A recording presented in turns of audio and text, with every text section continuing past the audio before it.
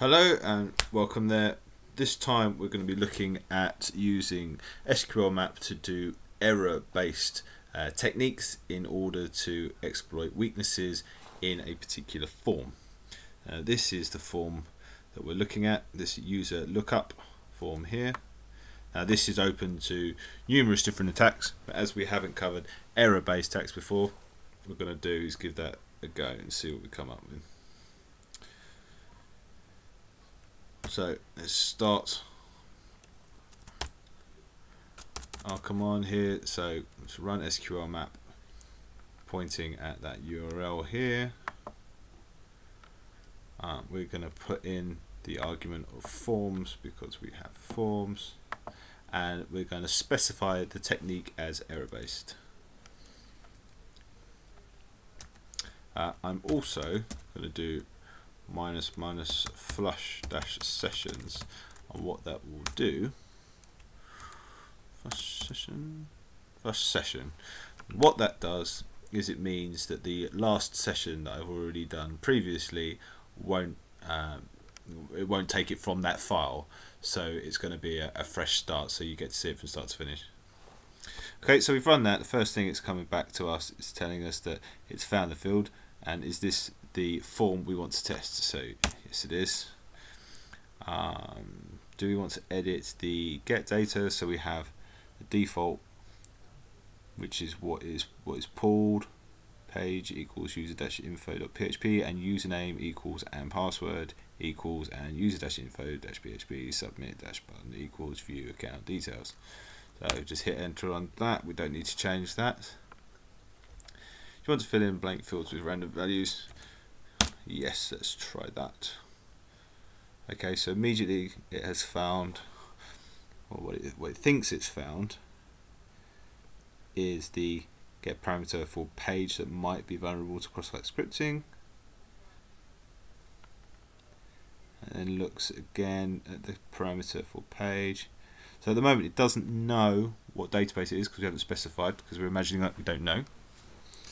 So we follow that down a bit more. It's trying MySQL, then PostgreSQL, Microsoft SQL Server, Oracle, MySQL, and then it tells us that the page is not injectable. So that's a perfect example of something that will come up and tell you that something is might not be injectable. So this um, parameter of page, it says might not be injectable. Then it says it, it, it might be vulnerable. And then it decides it's not. So don't just assume because you're seeing this, it immediately means that it is vulnerable because sometimes, as we see here, it doesn't. Okay, so now it finds the parameter of username to be potentially injectable and also realizes that the database is most likely MySQL, which in our case we know is correct. Then we look at another cross-site scripting uh, potential vulnerability with the parameter of username. After testing the parameter of username, it looks like the, the backend database is MySQL. Do we want to skip other payloads? Yes, we do. For running tests, do you want to include all tests for MySQL extending level 1 and risk level 1 release? Yes make that a bit bigger. Okay. Okay. So the parameter username is vulnerable to some form of injection or to error-based injection and we know the MySQL version is equal to or greater than version 5 where having order by or group by clause injectable so it's now pretty confident that the username is vulnerable do want to skip other tests and concentrate on this one. Yes. Okay, once again, that this vulnerability with the parameter password is very likely to be injectable with basic and cross-site scripting. Okay, and it's just asking me the same question again. So that's yes on that. So it's now just running MySQL based, um, uh, looking for vulnerabilities on just MySQL, not all all the different ones like it has done here. I'm just selecting MySQL.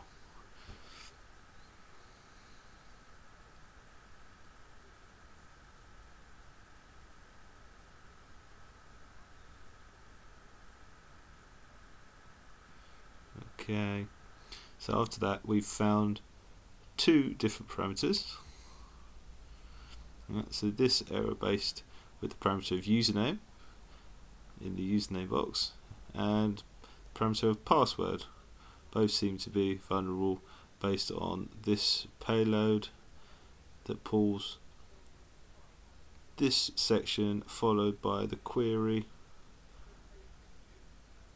up to here. Okay, so because there's multiple injection points, which one do we want to do?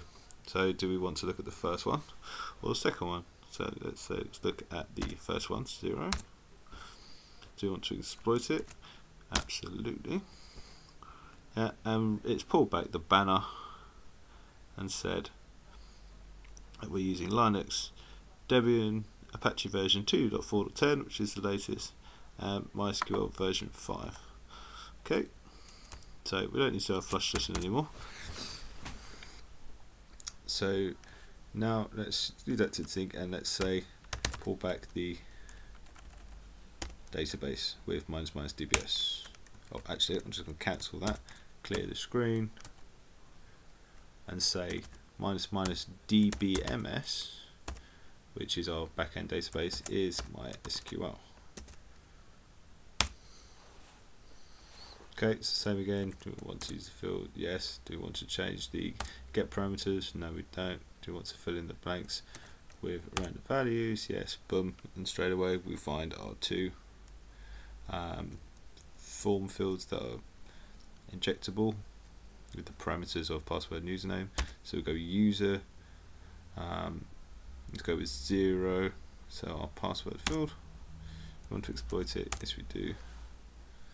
There we go. We can see we've pulled back databases. So let's do the same thing again. Do you want to test this form? Yes. Do you want to change values? No. Do you want to fill in the blanks? Yes. It's time let's do it with one. And see if we get the same results. Do we want to exploit it? Yes we do. And the same thing again. Okay.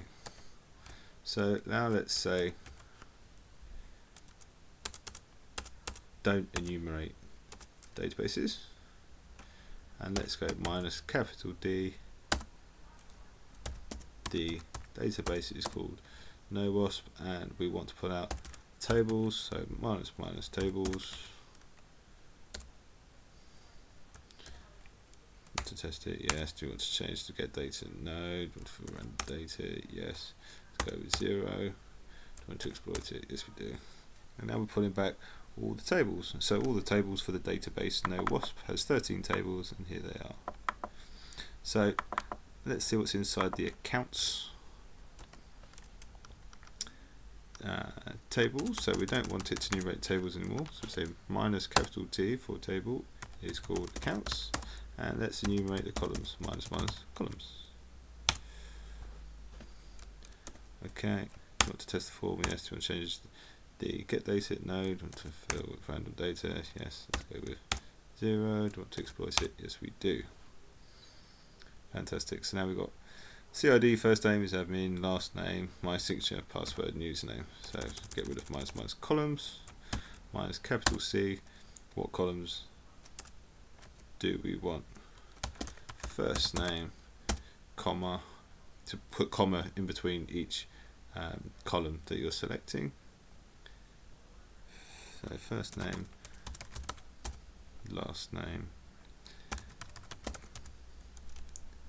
uh, username, password is underscore admin my signature.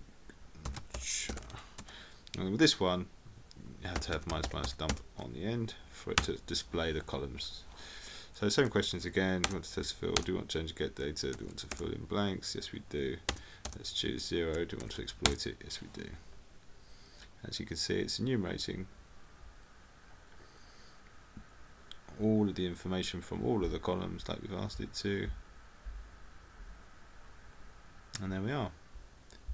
We now have all of our database enumerated.